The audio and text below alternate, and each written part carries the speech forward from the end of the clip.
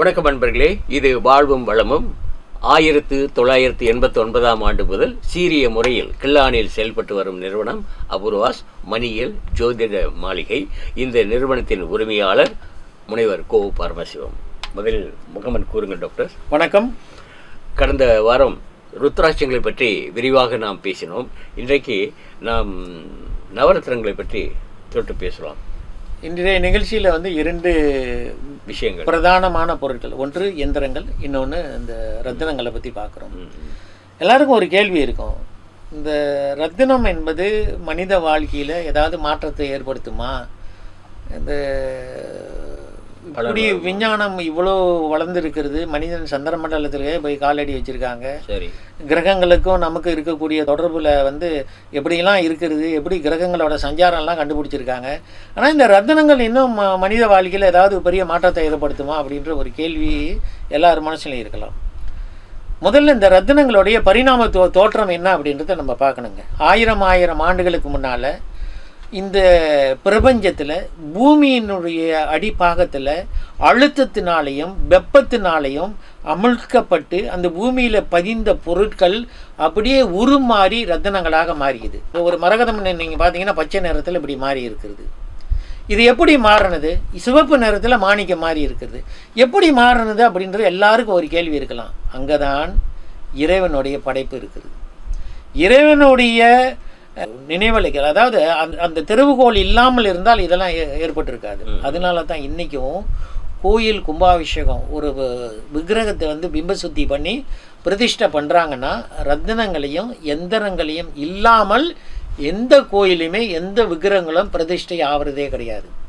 பிரதிஷ்டை பண்ணுறதுக்கு முன்னால் அது விக்கிரகம் அப்படின்னு சொல்கிறோம் பிரதிஷ்டை பண்ணி முடிஞ்ச உடனே இந்த எந்திரம் இந்த ரத்தினங்கள்லாம் வைத்த உடனே சுவாமி அப்படின்னு நம்ம சொல்கிறோம் இதுக்கு என்ன அர்த்தம் தெரியுங்களா?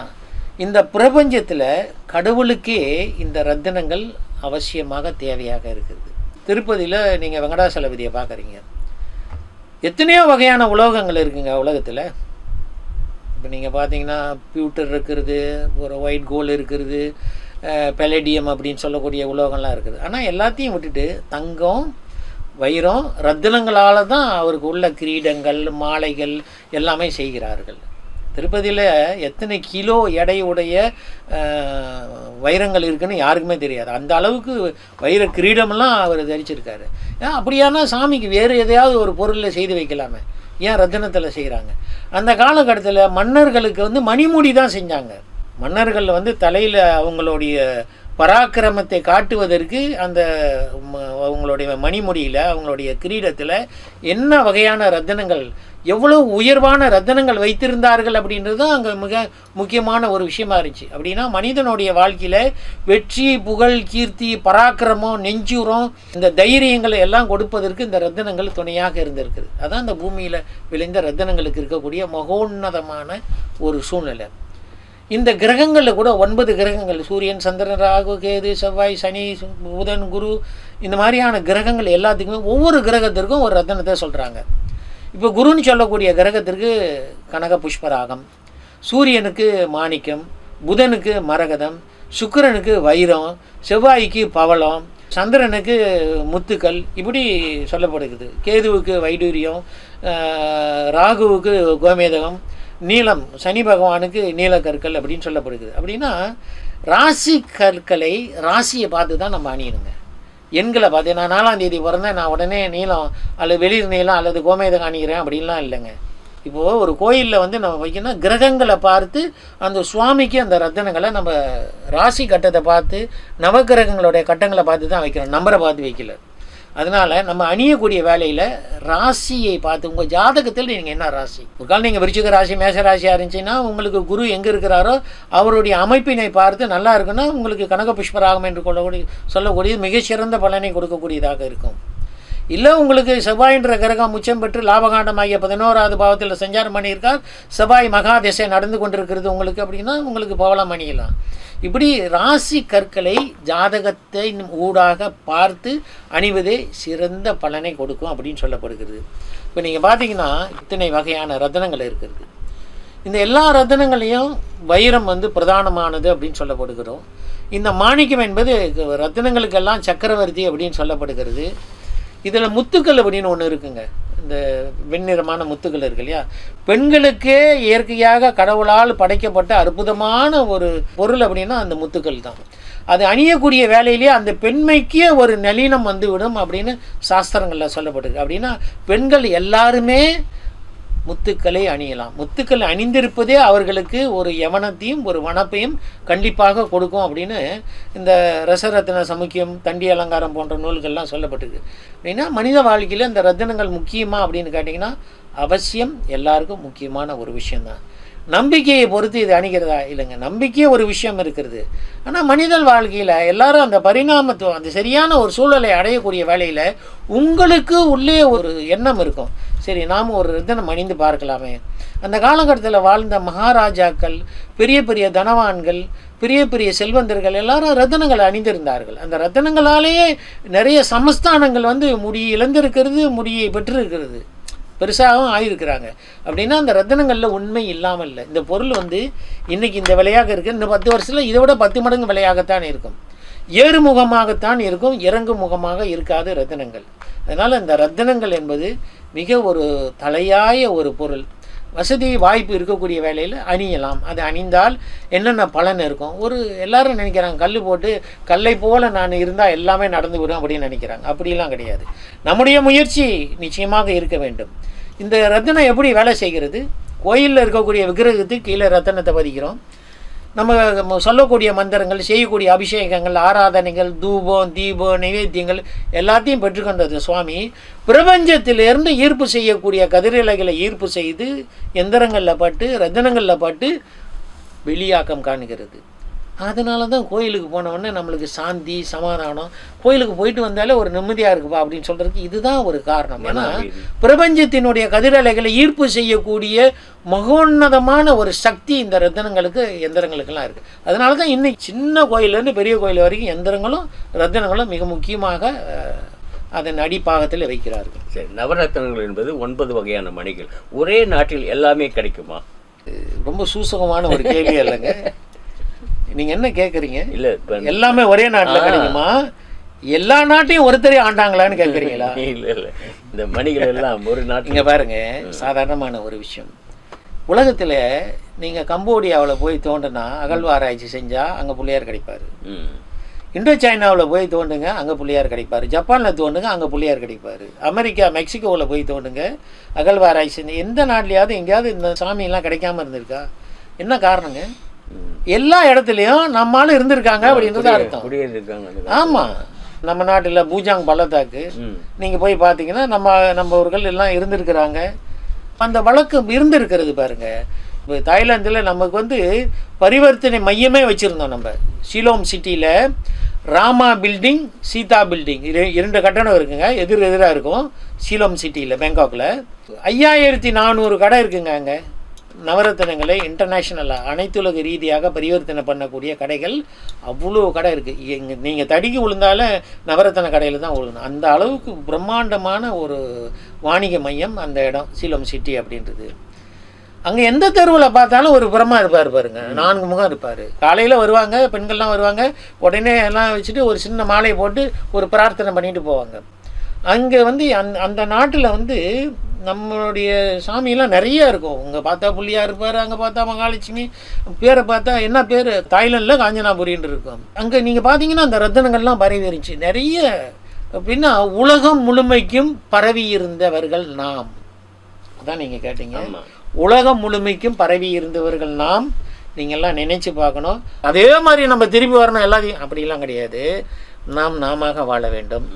படித்தவர்களாக சிறந்தவர்களாக நாம் வந்து மிகச்சிறந்த அதாவது கடலில் வந்து பாய்மர கப்பலை கட்டிங்க பல நாடுகளுக்கு சென்று அந்த நாடுகள்லாம் அவர்களை வந்து ஆட்சி செய்திருக்கிறார்கள் நம்மவர்கள் இந்த நவரத்தினத்தை கொலம்பியாவில் இருந்து கொலம்பியாவில் போயிட்டு கண்டுபிடிச்சு இதுதான் மரகதம் அப்படின்னு சொல்லி கண்டுபிடித்தவர்கள் நம்ம தேசத்தை சேர்ந்தவர்கள் தான் நமக்கு வேண்டப்பட்டவர்கள் தான். அதனால தான் இந்த மரகதத்திற்கு மரைக்காயர் பச்சை அப்படின்னு வந்தது. மரைக்காயர்ன்றது நம்மளுடைய முஸ்- முஸ்லீம் சகோதரர் அவர் வந்து இந்த மாதிரி கப்பல் கட்டி பயணித்து திரைக்கடல் ஓடியம் திரவியம் தேடுன்னு போனவர் கொலம்பியா நாட்டு ஓரத்தில் கப்பல் ஒதுங்கி தரை தட்டி அவர் அந்த இடத்துல இருந்து அங்கே இருந்த பாறைகளை கப்பல் ஏற்றி அவருக்கும் அது மரகதம்னு தெரியாது. ஏற்றி கொண்டாந்து வச்சிருந்து வீட்டில் வச்சு ஒரு ஒரு வழிப்போக்கர் வந்து ஒரு ஆங்கிலேயர் வந்து பார்த்துட்டு இது என்ன கதவுக்கு வந்து முட்டு கொடுக்கறதுக்கு வந்து பெரிய பெரிய கல்லை வச்சுருக்காங்க இன்னும் என்ன பெரிய கோடீஸ்வரம் போல இருக்குது. டேபிளில் அவர் பேப்பர் வெயிட்டாலாம் கல் வச்சுருந்துருக்கிறாரு. அவர் கேட்டிருக்காரு இந்த ஒரு கல்லை வித்தாலே நீ பெரிய கோடீஸ்வரம் தெரியுமா? அப்படின்னு. அதுதான் மறைக்காயிரு. அப்படின்னா நம்ம ஆள் எப்படிலாம் இருந்திருக்கிறாங்க அப்படின்னு நினச்சி பார்ப்போம். அப்படின்னா இந்த நவரத்தினம் என்பது முழுக்க முழுக்க நம்முடைய கட்டுப்பாட்டில் உலகம் முழுமைக்கும் பறந்து விரிந்து கிடந்த ஒரு தொழில். அதுதான் இந்த நவரத்தினங்கள் அப்போனா நம்மவர்கள் எல்லா நாடுகள்லேயும் இருந்திருக்கிறார்கள். எல் அதாவது மெக்சிகோலெல்லாம் வந்து நம்மவர்கள் ஆட்சியை செய்திருக்கிறார்கள் வியாபித்து இருந்திருக்கிறார்கள் அது நமக்கு ஒரு பெருமை. அதே போல் இந்த ரத்தனங்களும் இந்த எந்திரங்களும் உலகம் முழுமைக்கும் கண்டிப்பாக இருக்கிறது. இதில் ஒரு ஒரு மிகச்சிறந்த ஒரு ஈர்ப்பு சக்தி இருக்கிறது என்பதை யாராலும் மறுக்க முடியாது. இப்போ நவரத்னங்களை முடித்து எந்திரங்களுக்கு போவதற்கு முன்பாக அன்பான அப்ரோஸ் வாடிக்கையாளர்களே உங்களுக்கு சில கேள்விகள் இருக்கலாம் சந்தேகங்கள் இருக்கலாம். நீங்கள் அடைக்கும் போது உடனடியாக உங்களுக்கு பதில் சொல்ல வேண்டிய நிர்பந்தத்தில் நம்முடைய பணியாளர்கள் இருக்க மாட்டார்கள். ஆனால் வாட்ஸ்அப் செய்தீர்களானால் உரிய பதில் உங்களுக்கு வந்து சேரும். சுழியம் ஒன்று ஒன்பது மூன்று நான்கு ஐந்து ஆறு ஒன்று எட்டு நான்கு. சரிங்க டாக்டர். இப்போ எந்திரங்களுக்கு வருவோம். ரொம்ப அழகாக இருக்கிறது. இது பல வடிவங்களில் இருக்குது. இல்லைங்களா? அபுராச நிறுவனத்தில் அண்மையில் வடிவமைக்கப்பட்டது. இந்த பக்கம் இருக்கிறது சுதர்சன மகா எந்திரம் சுதர்சனம் அப்படின்றது மகாவிஷ்ணுடைய வலது கையில் சதா சர்வகாலமும் சுழன்று கொண்டிருக்கக்கூடிய மிக சக்தி வாய்ந்த இந்த பிரபஞ்சத்தில் மிகப்பெரிய ஆற்றலை கொண்டிருக்கக்கூடிய ஒரு எந்திரம் இருக்கக்கூடிய இடத்துல வெற்றியையும் சமாதானத்தையும் எதிர்மறையான விஷயங்களையும் சரிநிகர் சமானம் செய்து நமக்கு சிறந்த ஒரு வல்லமையை கொடுக்கக்கூடிய எந்திரம் இந்த சுதர்சன எந்திரம். எங்கே வைக்கலாம்? வீடுகளில் பூஜை அறையில் வைக்கலாம். வியாபார ஸ்தலங்களில் வைக்கலாம். நமக்கு எதிர்மறையான விஷயங்கள் எதுவுமே நடக்காமல் இருப்பதற்கு எதிர்மறையான எண்ணங்கள் உடையவர்களை நாம் சந்திக்காமல் இருப்பதற்கு இது துணையாக இருக்கும். இது ஒன்று. இரண்டாவது இந்த லக்ஷ்மி குபேர தனாகர்ஷண எந்திரம். ஆங்கிலத்தில் இதை சொல்லணும்னா மணி மேக்னட் அப்படின்னு சொல்லுவோம். பணத்தை ஈர்ப்பு செய்யக்கூடிய ஒரு காந்தம் அப்படின்ற மாதிரி தான் அந்த லக்ஷ்மி குபேர தனாகர்ஷண இயந்திரம். இந்த குபேரன் அப்படின்றவர் யாருன்னு பார்த்தீங்கன்னா மகாலட்சுமியோட கேஷியர் குபேரன் வந்து ரொம்ப அற்புதமான ஒரு யட்சன். ராவணனுடைய சகோதரன். ராவணன்கிட்ட தோத்துட்டு நான் தன் நாட்டையெல்லாம் இழந்துட்டு அவர் ரொம்ப கஷ்டத்தில் ரொம்ப போயிட்டு தியானம்லாம் பண்ணி ரொம்ப நீண்ட காலம் வந்து தவம் செய்து ஈஸ்வரனோட அனுகிரகம் பெற்று ஈஸ்வரன் தான் இனிமே உலகத்தில் இருக்கக்கூடிய எல்லா நிதிகளுக்கும் அதை நிர்வாகம் பண்ணக்கூடிய பொறுப்பு ஒன்றுதுப்பா மகாலட்சுமிக்கு நீ கேஷியர் மாதிரி இருப்பா அப்படின்னு சொல்லி குபேரன் நியமனம் பண்ணார்.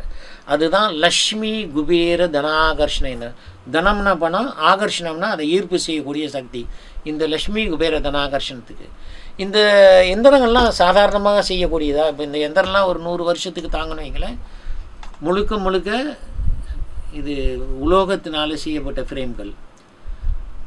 அலுமினியம் ஃப்ரேமு ஆனால் twenty four carat gold plated. இது வந்து முழுக்க முழுக்க தங்கத்தில் துவைத்து எடுக்கப்பட்டது இந்த எந்திரங்கள் வந்து இருபத்தி நான்கு கேரட் கோல்ட் பிளேட்டட். இந்த கோல்ட் பிளேட்டிங் வந்து இது சாதாரணமாக இப்போ எயிட்டீன் கேரட் கோல்ட் பிளேட்டு தான். இது உள்ளே இருக்கிறது வந்து இரு- இருபத்தி நான்கு கேரட் தங்கம்லாம் தங்கத்தில் துவைத்து எடுக்கப்பட்டது. எத்தனை வருஷத்துக்கு இதனுடைய ஆயுள் தாங்க சிறப்பாக இருக்கணும்? நூற்றி இருபது வருஷத்துக்கு. இது சாதாரணமாக செய்யப்படக்கூடியதா இல்லை. இதெல்லாம் செய்து இதுக்கு உண்டான பிம்ப சுத்தியெல்லாம் பண்ணி புற்றுமண்ணில் கழுவி நீ இது கங்கை கங்கை நீரில் அலசி பால் தயிர் சந்தனம் இந்த மாதிரியான பொருட்கள்லாம் அதை அபிஷேகம் பண்ணி அதற்கு பின்னால் இதற்கு பிராண பிரதிஷ்டை பண்ணி ஹோமத்தில் வேள்விகள் செய்து நூலெல்லாம் சாத்தி வஸ்திரங்கள்லாம் சாத்தி தான் இது பரிவர்த்தனைக்கு நம்ம வச்சுருக்கோம் இது இங்கே மட்டும் இல்லை பல நாடுகளுக்கு இங்கே இருந்து சென்று கொண்டு இருக்குது அண்மையில் என்னுடைய மாணவர் ஒருத்தர் வந்திருந்தார் அபூர்வாசன் நிறுவனத்திற்கு. உங்கள் கூட- கூட இந்த நிகழ்ச்சியில் அவரை பேசுகிறதுக்கு ஏற்பாடு பண்ணியிருக்கோம் சதீஷ் அப்படின்ற பேர். கேட்டேன் மலேசியா பா முதல் தடையாக வந்திருக்க என்ன என்ன பார்த்துருக்க அப்படின்னு. இது நிறைய விஷயம் பார்த்தேன். ஆனால் ஒரே ஒரு விஷயத்தில் என் மனதில் அப்படியே நிழலாடி கொண்டு இருக்குது உண்மையை நான் உண்மையாக ஒத்துக்கணும் இல்லையா? நான் குருவுக்கு நமஸ்காரம். இது ஒரு விஷயத்தை நான் சொல்கிறேன் பல ஆண்டுகள் எனக்கு வந்து இந்த எந்திரத்தில் அனுபவம் இருக்கிறது. நிறைய எங்களுக்கு எங்களோட ஊரில் அவர் கடலூர்காரரு.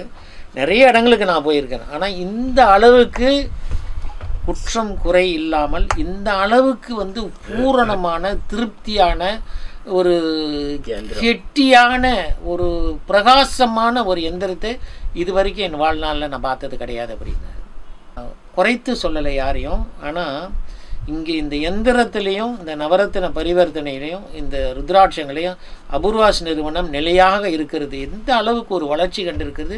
எனக்கு அப்படியே பிரமிப்பாக இருக்கிறது. நான் பிரமிப்பாகத்தான் இங்கே காலத்தை கடத்தி கொண்டிருக்கிறேன் அப்படின்னு சொன்னார். வணக்கம். என் பெயர் சதீஷ். நான் வந்து இந்தியாவில் தமிழ்நாட்டிலேருந்து கடலூர்லேருந்து வந்திருக்கேன். தமிழகம் பார்த்திங்கன்னா ஆன்மீக பூமின்னு சொல்லுவாங்க. வேர்ல்டுலே பார்த்தீங்கன்னா தமிழ்நாடுன்றது ரொம்ப புண்ணிய பூமி. பல சித்தர்களும் பல ரிஷிகளும் பல ஞானிகளும் வாழ்ந்த பூமி. ஸோ அந்த இடத்துல இருந்து நான் வந்து இப்போ மலேசியாவுக்கு வந்திருக்கேன். ஸோ ஒரு ஆன்மீக பூமியிலேருந்து இன்னொரு ஆன்மீக பூமிக்கு நான் வந்திருக்கேன். மலேசியாவை பற்றி சொல்லணுன்னா முருகர்.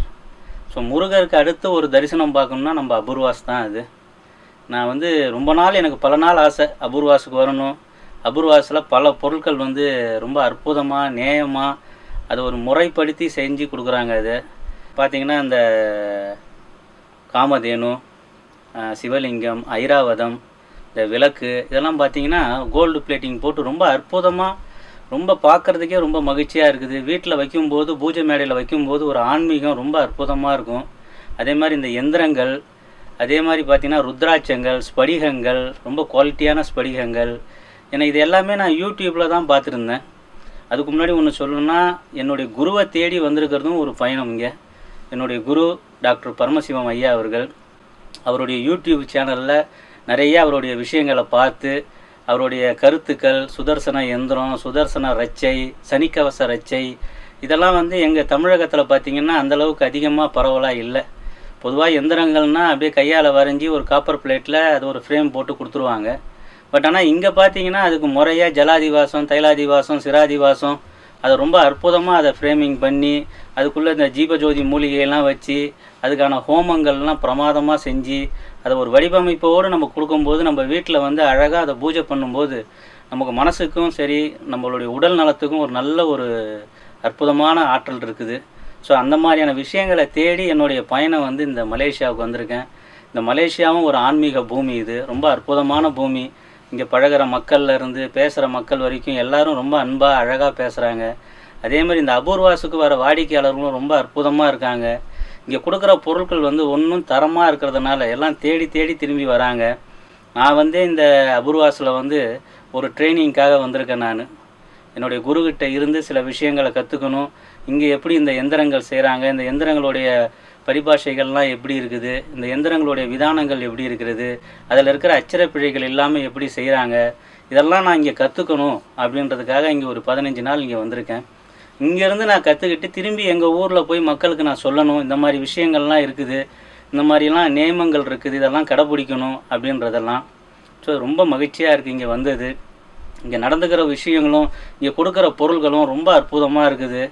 எல்லாரும் அதை பயன்படுத்துகிறாங்க பொதுவாக சொன்னால் அந்த ஒருமுக ருத்ராட்சங்கள்லாம் வந்து எங்கள் ஊரில் வந்து அதிகமாக வந்து அந்த புழக்கத்தில் இல்லை. எல்லாரும் ஐந்து முக ருத்ராட்சம் போடுவாங்க. அது மாதிரி பார்த்தீங்கன்னா மகாலட்சுமி கடாட்சம்னு சொல்லிட்டு எட்டு முக ருத்ராட்சம் ஏழு முக ருத்ராட்சம் போடுவாங்க. ஆனால் இந்த ஊரில் அந்த ஒருமுக ருத்ராட்சத்திற்கு ரொம்ப பவராக இருக்குது. அதை தங்கத்துலேயும் வெள்ளிலையும் கட்டி கொடுக்குறாங்க. ஸோ அதை அணிங்கிறது வந்து நல்ல ஒரு அற்புதமான ஆற்றலை கொடுக்குறது இந்த ஒருமுக ருத்ராட்சம். ஸோ இதெல்லாம் இங்கே பார்க்கும்பொழுது எனக்கே கொஞ்சம் ஆசையாக இருக்குது. சில பொருட்கள்லாம் இங்கே வாங்கணும் இங்கேருந்து எடுத்துகிட்டு போய் எங்கள் ஊரில் மக்களும் பயன்படுத்தணும்னு. ஸோ ரொம்ப மகிழ்ச்சியாகவும் இருக்குது இங்கே வந்ததுக்கு. இந்த மலேசியாவை பார்த்ததுக்கே ரொம்ப அற்புதமாக இருக்குது. இதுவும் ஒரு ஆன்மீக பூமி இங்கே இருக்கிறதும். இந்த ஆன்மீக பூமியில் இந்த அபூர்வாஸ் இருக்கிறதும் ஒரு பெரிய விஷயம் இது. இங்கே ரொம்ப எல்லாருக்கும் வந்து என்னுடைய கோடான நன்றிகளை நான் தெரிவித்துக்கொள்கிறேன் நன்றி. ஆள் மனதிலிருந்து உண்மையே அப்படியே அவர் பேசினார். அது கேட்கறதுக்கு ரொம்ப சந்தோஷமா இருந்துச்சு. அந்த அளவுக்கு நம்ம நேர்த்தியாக செய்திருக்கோம். அளவு. இதெல்லாம் வந்து ஒன்பது அங்குலத்துக்கு ஒன்பது அங்குலங்க இதனுடைய அளவு. இது ரெண்டு அடிக்கு ரெண்டு அடியும் நம்ம செய்து கொடுத்துருக்கோம். பல நாடுகளுக்கு போயிருக்கிறது ஆறு அங்குலத்துக்கு ஆறு அங்குலம் இருக்கிறது. மூன்றரை அங்குலத்துக்கு மூன்று அங்குலம் இருக்கிறது. மூன்று நான்கு அளவுகள் இருக்கிறது. உங்களுடைய வசதிக்கும் வாய்ப்புக்கும் தகுந்த அளவுக்கு நீங்கள் வாங்கி இதை வைத்து வழிபாடு பண்ணலாம். இன்னும் ஒரு விஷயங்க. இந்த நிகழ்ச்சியில் முக்கியமான ஒரு விஷயத்தை சொல்லணும்னு நீண்ட நாளாக நினச்சிக்கிட்டு இருக்கேன். நிறைய பேருக்கு இந்த பணம் சம்பந்தமான தட்டுப்பாடு இருக்கலாம். லக்ஷ்மி குபேர தனாகர்ஷண எந்திரத்தை வாங்கி வைத்து முன்னால் ஒரு வளம்பரி சங்கு. அந்த வாங்கி வைக்கிறப்ப அந்த சுதர்சன எந்திரத்தோடு சேர்த்து வாங்க. ஒரு வளம்பரி சங்கை வைங்க. ரெண்டுக்கும் ஒரு வளம்பரி சங்கை வைத்துட்டு வியாழக்கிழமை வியாழக்கிழமை ஆரம்பித்து வெள்ளிக்கிழமை மாலை வரைக்கும் குபேர காலம்னு சொல்லுது. ஒன்பது வாரங்கள் தொடர்ச்சியாக ஸ்ரீ சூக்த பாராயணம் பண்ணுங்கள் எல்லாரும் கேட்கலாம் சு ஸ்ரீ சுத்தம் எப்படிங்க நாங்கள் பண்ணுறது அது எப்படி இருக்கும் இப்படி இருக்கும் ரொம்ப கஷ்டங்க. இப்போ தாங்க உலகமே அப்படியே ரொம்ப எளிமையாக விவேக கை தொலைபேசியில் வந்திருக்குதுங்க. எல்லாத்தையும் தொலைபேசியிலே கொண்டு வந்துட்டாங்க. நீங்கள் வந்து கூகுள் பண்ணுங்கள் ஸ்ரீ சூக்தம்னு போடுங்க அந்த ஸ்லோகம் வரும். அது வந்து பதினஞ்சு ஸ்லோகம் தான் இருக்கும். பலசுருதியோடு சேர்த்து முப்பத்தி ரெண்டு ஸ்லோகம். ஆக கூடுன நேரம் ஆறு நிமிஷம் தாங்க ஒவ்வொரு வெள்ளிக்கிழமையும் நீங்கள் வந்து சில பூக்கள் வாசனை பூக்கள் நீங்கள் பவளமல்லி எடுக்கலாம் அல்லது ரோஜா பூக்கள் சும்மா மிகச்சிறந்ததுன்னா தாமரை பூ. இதில் வந்து உதிர்த்து அந்த தாமரை பூனால நீங்கள் இந்த எந்திரத்தை வச்சு பூஜை பண்ணி பாருங்கள் என்ன பலன் அப்படின்றது உங்களுக்குள்ளேயே நீங்கள் வைத்து என்கிட்ட பகிர்ந்து கொள்ள வேண்டிய அவசியம் இல்லை. செய்து பாருங்கள். உங்கள் வெற்றி உங்கள் கைகளில். ஒன்பது வாரங்கள் செய்தாலே உங்களுக்கு என்ன அப்படின்றது பலன் தெரிஞ்சிடும் அது பலன் தெரியும். சிறப்பான தகவல்கள். இந்த அளவிலே நம்முடைய வாழ்வும் வளமும் நிகழ்ச்சி ஒரு நிறைவு கொண்டு வருவோம். மனிதன் மனிதனாக வாழ வேண்டும் எனும் தத்துவத்தை அடிப்படையாக கொண்டதுதான் இந்த வாழ்வும் வளம் நிகழ்ச்சி. இதனை வெற்றிகரமாக வழிநடத்துபவர் மணியியல் ஜோதிட கலை இரண்டிலும் முனைவர் பட்டம் பெற்றுள்ள ஆன்மீக சிந்தனை செம்மன் டாக்டர் கோ பரமசிவம். விடைபெறுங்கள் டாக்டர். வணக்கம்.